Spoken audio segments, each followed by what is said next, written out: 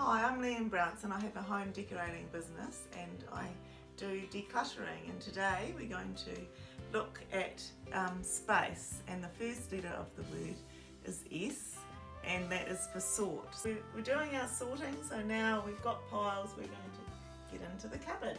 Yay! Cupboard number two.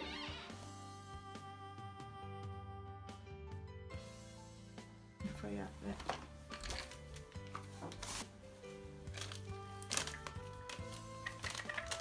Embarrassing. Decide do you want to keep it? Oh no.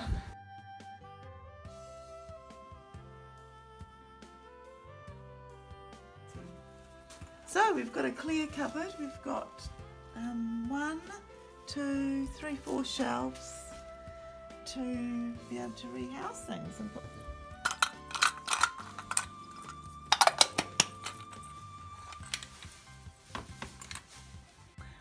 So now we have the clean cupboard.